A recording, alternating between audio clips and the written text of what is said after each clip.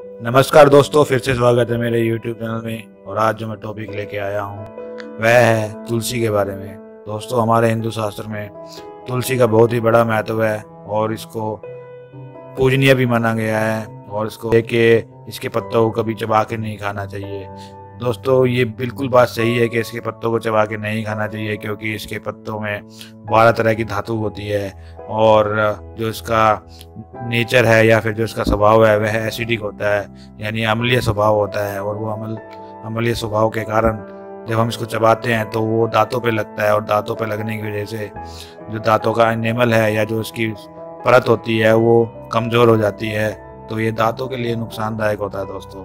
दोस्तों, इसलिए इसके पत्तों को चबा के नहीं खाना चाहिए। इसके पत्तों को डायरेक्ट तोड़ के जीप पे रख के और डायरेक्ट ही निकल जाना चाहिए। तो यह था वीडियो। इसी पत्तों को चबा के क्यों नहीं खाना चाहिए? मिलते हैं हमारे नेक्स्ट वीडियो में। धन्यवाद।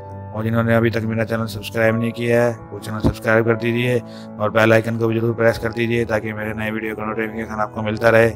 Thank you thanks